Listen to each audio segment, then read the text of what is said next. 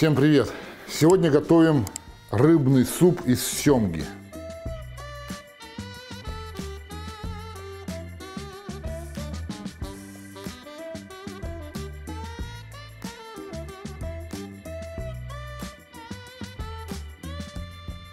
Посмотрите, пожалуйста. Вот такая вот большая голова и три, три больших куска стейки семги. Что еще потребуется нам для этого рыбного супа? Потребуется картошка, три больших и две маленьких картошки, морковь, лук, я взял белый, корень пастернака, не каждый раз его встречаешь в магазинах, даже в самых больших, но вот э, есть такой корешок, белый корень, значит, мы будем сегодня его использовать, он хорошо подойдет к рыбе. Острый перец один, чеснок, три лавровых листа на 6-литровую кастрюлю, подсолнечное масло без запаха, дробленый перец в ступке и зеленый лук, петрушка и укроп. Вот такой набор у нас сегодня для рыбного супа из семги.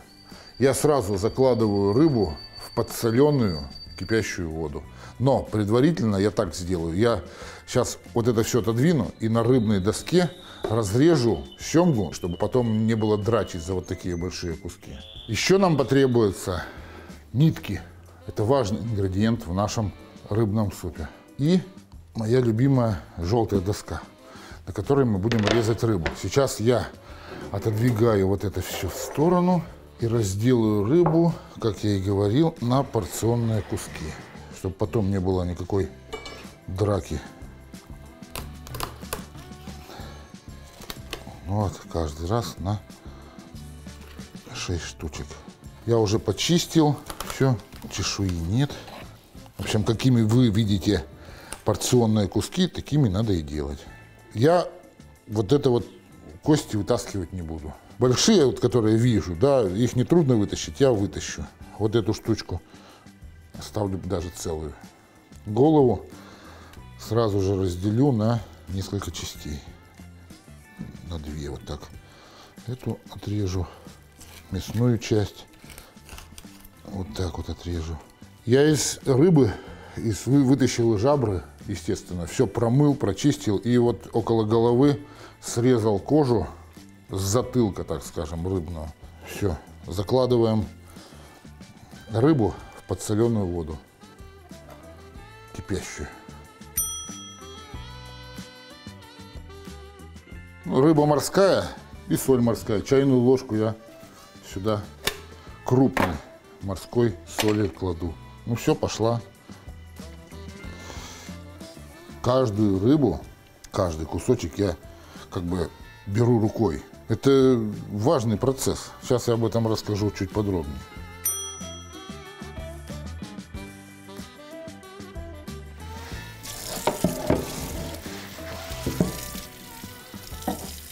Рыба варится в кастрюле.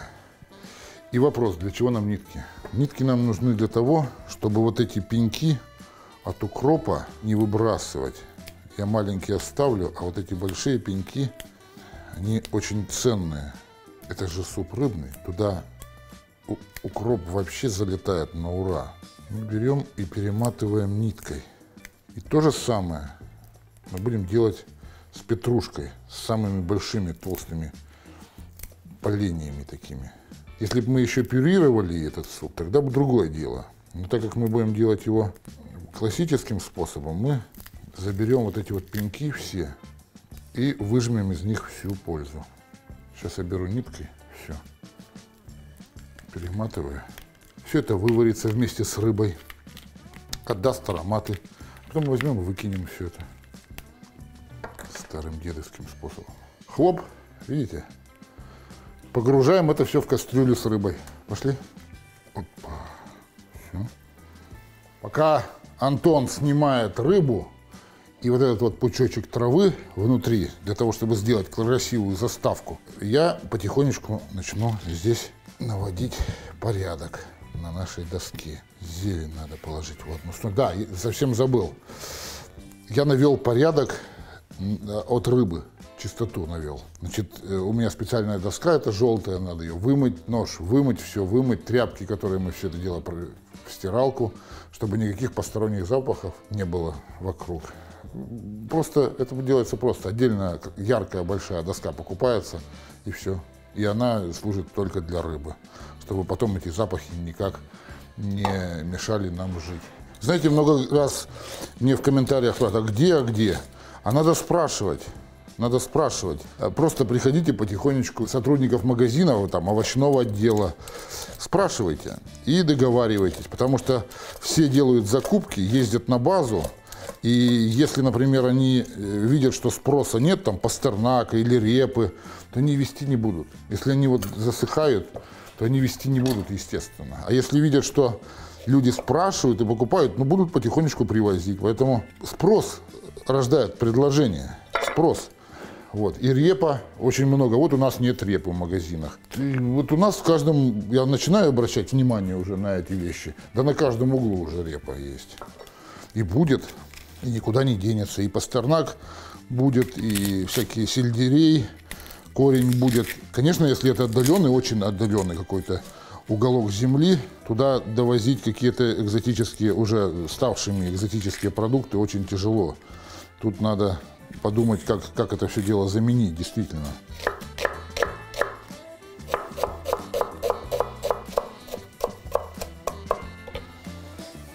Нарезаем пастернак. Можно, кстати, заменить это всеми полюбившейся репой, корнем сельдерея, если пастернака нету. Корень сельдерея зайдет вообще сюда очень хорошо, сделает полегче такой наш рыбный суп. Ой, поймал я слезу. Слезы счастья. Не очень мелко, так, чтобы он чувствовался. Не надо его в пыль крошить во все. Чтобы не доминировал, но и не пропадал. Вот такие вот кусочки сделайте. А морковь тут одна из самых ярких вещей, поэтому я бы ее сделал, не стал бы мелчить сильно, сделал бы акцент бы на моркови, вот таки, такой бы вот сделал бы. В рыбном супе это очень хорошо заходит. Опа. Белые части зеленого лука тоже сюда порежу, чтобы они добавили аромата во всю вот эту овощную нашу обжарку. И цвета чуть-чуть пусть добавят. Перец острый. Семечки я отсюда уберу. В основном, чтобы они... Ну, немного оставлю, вот половину семечек оставлю, а половину уберу все-таки. И так вот крупненько, чтобы он определялся потом в кастрюле. Острый хорошо зайдет, острый хорошо зайдет. Семга с острым нормально. Опять вымою доску после острого перца.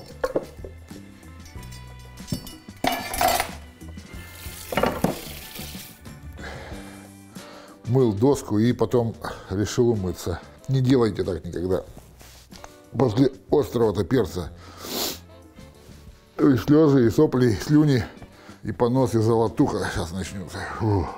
Сейчас поставлю вот это масло и на плиту. И паузу небольшую сделаем.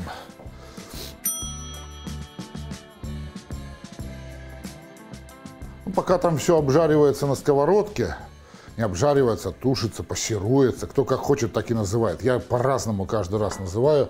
Как вот у меня в голову взбредет, всем же понятно, что делается. А сейчас нарезаем картошку. Но не простым способом, а новым, таким инновационным. У нас в компании есть небольшое научно-исследовательское подразделение, и мы придумали э, нарезку картошку лазером прямо быстро. Вот смотрите, берем картошину, вот так вот раз, бросаем, хоп, блин, вот единственный недостаток – это то, что вот она так рассыпается. И пальцы, главное, чтобы не оторно не срезало. Вот, вот они замаскированные в перцах стоят, вот эти вот штуки. Вот дай мне, Антох, дай. Только аккуратно. Вот тут этот. Ага, чуть не отрезал. Давай, вот, вот давай вытаскиваем, в следующий раз попробуем еще одну так сделать. Так, давайте вот эту большую. Оп! Вот, это лучше, не разлетелось. Ну, в общем, дорабатываем, дорабатываем уже в финальной стадии все. Ссылочка будет на этот лазерную нарезку под видео. Прямо переходите, на Валберис там есть ссылка. Кстати, ссылка уже есть на нашего генерального спонсора Алисия Фьори. Пожалуйста, перейдите, посмотрите. И на остальные супы, на социальную сеть Facebook, Instagram и TikTok мою. И вот этот прибор тоже будет там продаваться. Ну, это уже для нас привычный способ нарезки. Просто первый раз мы презентовали, технологии-то сразу тоже раскрывать не очень хочется.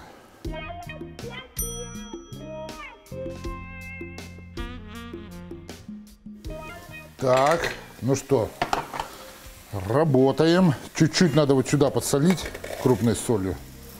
Вот сюда, чтобы тоже вкусная штука была. Я вообще сторонник того, чтобы на каждом этапе каждый в отдельности продукт подсаливать. Вот есть, например, сковородочка, чуть-чуть подсолили или сахар положили. И тут уже как бы продукт готовый. Здесь я в основном солю средней или крупной солью, потому что это не требует быстрого там, да, проникновения. Потихонечку она рас, расходится и уже можно даже взять и отдельным блюдом пробовать. Сейчас вот здесь в кастрюле у нас извлечь нужно зелень сварившуюся. Вот смотрите, видите? Раз, все, она сварилась, все отдала. Замечательный аромат оттуда исходит. Вот он, видите? Советую вам не выкидывать продукты, а поступать с ними точно так же. И закладываем нашу картошечку. Вот в этот суп я не люблю закладывать э, мелко. Не напополам, конечно, картошину, а такие, ну вот, чтобы в ложку большую умещались. Все, разгоняем газ. Вода там подсоленная, я напоминаю, чтобы картошечка уже была, зашла в подсоленную воду, а не просто куда попала. Вот вы заметили, наверное, что я всегда кладу дробленый перец, не перец молотый, не перец горошком. Я не помню, когда я закладывал перец горошком, было ли вообще это. Я всегда вот беру перец горошком, ну, тут есть красный, белый появляется, какой-то серый, и его вот так вот перед употреблением размалываю. Почему? Потому что перец дробленый, ну, выветрится, там эфирные масла есть какие-то штучки, он послабже станет. Перец молотый вообще не, только если вот конкретно в тарелку где-нибудь едешь, в столовой или по дороге, может быть, есть место, чувствуешь, что нужно, вот сразу же можно его подсыпать в тарелку, готовый, в готовый суп. Если перец дробленый, я имею в виду, уже был в пачке, вот так. А перец горошком, он как бы сразу не отдает, а отдает постепенно, поэтому с ним легко можно ошибиться. Поэтому я беру вот нужное количество перца сразу же вот такую ступку. Раз. И все. Вот он и ароматный, то, что нужно, и состояние его такое. И не молотый, и не такой уже дробленый. Такой два состояния. Зато свежий самое главное. Все полезные свойства из него еще не улетучились. Я чеснока в этот суп положу побольше не маленькую головочку прямо возьму. Да, у нас совсем недавно я в социальных сетях, ну, в YouTube у себя э, в сообществе опубликовал опрос, какой бы суп вы хотели видеть э, у нас на канале. И пришло очень большое количество пожеланий. Я их всех, все прочитал, ответил и записал к себе в записную книжку. Какие-то супы, например, журок, появятся совсем скоро у нас на канале. Солянка рыбная. Следующую мы готовим рыбную солянку. Как готовил ее Сергей Цигель. На канале у нас есть видео, как я готовил в клубе Кожухова с Сергеем Цигелем э, солянку рыбную. Очень вкусно получилось. Рекомендую вам тоже посмотреть эту, этот выпуск и приготовить ее. Я думаю, будет очень вкусно. Так, ну что, сейчас я пяточки только отрежу. Вот эти. И прямо крупно порублю. Вот так вот. Не буду церемониться, а прямо... Ну вот финальная закладка.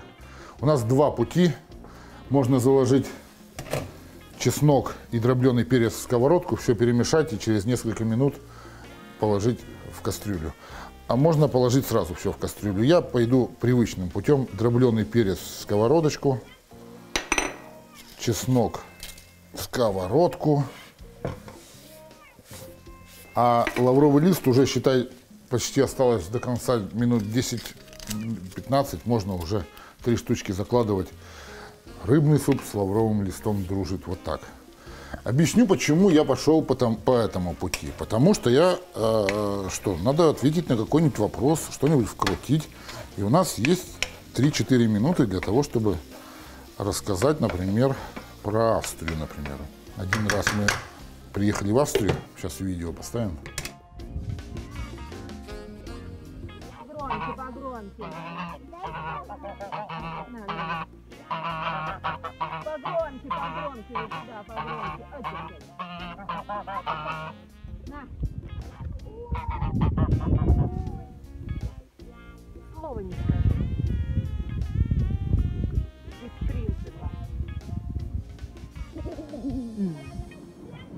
Ну рулит? Нормально? Чего Ой, не бросай. Че кипишуешь? Кот бабы а кот бабы. Кот, который кроликов боится. Кот, который боится кролика. и гуляли по дикому парку, там наподобие заповедник. И течет река. И в этом месте она, ну, вот такая вот, полметра, до метра. И там вот такие вот чушки плавают. Вот тогда я стоял и чуть сознание не потерял. Представить себе в России подобную вещь невозможно просто. Вот почему так? Выловили бы давным бы давно бы все, выщелкали бы и мелочь бы выложили. А тут Пожалуйста, парк, пожалуйста, река, метра полтора-два, есть места шириной, где-то пошире, есть заводи какие-то, в горах течет. И вот такие вот семги. Форели, конечно, форели. Но сложно себе представить, чтобы это было у нас. Я стоял, смотрел, думаю, да, инстинкт просыпается, ну, стою, сдерживаю его. Надо бы как-нибудь съездить в Карелию, и поснимать на природе, да и вообще поснимать на природе. Давайте, давайте один из где-нибудь в мае, в, в конце, после Пасхи, в мае мы выедем на природу и на берегу Волги, напротив Плеса, какое-нибудь место найдем красивое. У нас в Костромской области, на нашей стороне, поснимаем уху из щуки, окуня. Ну, там что какая рыба будет, судак можно сделать.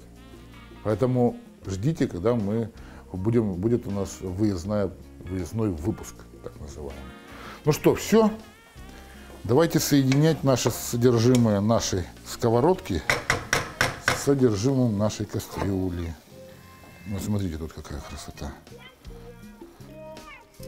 Ребята. В общем, в любом случае, смотрите все в описании. Там все в описании у нас все подробно будет. Ну что, осталось у нас совсем немного. Сейчас я чуть-чуть долью о, горячей, прямо кипящей воды сюда, ну буквально вот для порядка. Убавляю газ на самый минимум, и она стоит уже там, ну, минут 10 осталось. Закрываем крышкой и ждем, когда у нас будет торжественный вынос подачи.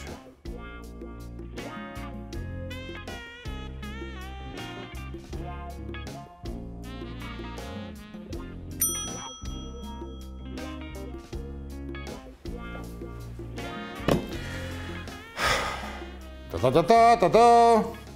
Этот клич из Афони, если вы помните, Афоня будил своего друга, которого играл Леонов Евгений. Он будил его утром, который спит в ванной под краном такой, и вот он вот та-та-та-та-та-та, ротоподъем! И вот у нас точно такой же клич, веселый клич, когда мы вытаскиваем супы сюда на стол. А, потому радость большая.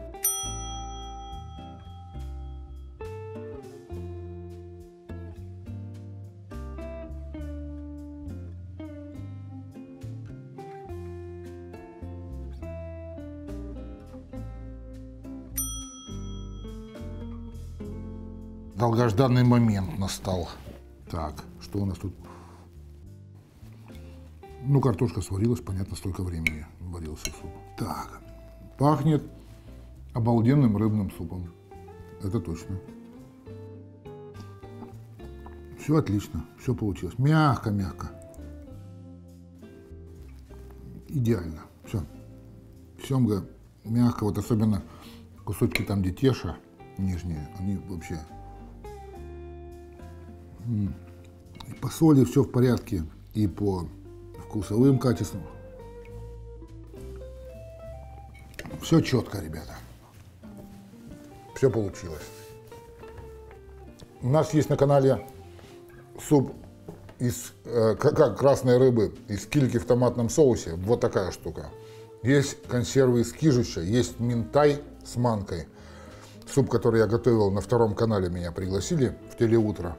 Я там готовил свой любимый суп из ментая с манкой, с луком. Вот такая штука. Вот посмотрите тоже у нас на канале. Есть много рыбных супов, еще много будет э, других рыбных супов. Вот следующий выпуск у нас будет как раз рыбная солянка. Вот этот суп тоже обязательно приготовьте по нашему рецепту. Э, Суп получился мягкий довольно. И прямо вот все, и зелень в тему, и все в тему. Кто хочет, добавьте сметанку. Я добавлять сметану не буду, но она сюда очень хорошо идет. Спасибо вам за внимание. Подписывайтесь на наш канал, ставьте лайки, переходите по активным ссылкам и ссылкам нашего генерального партнера модного дома Алисии Фьори. До свидания. Пока.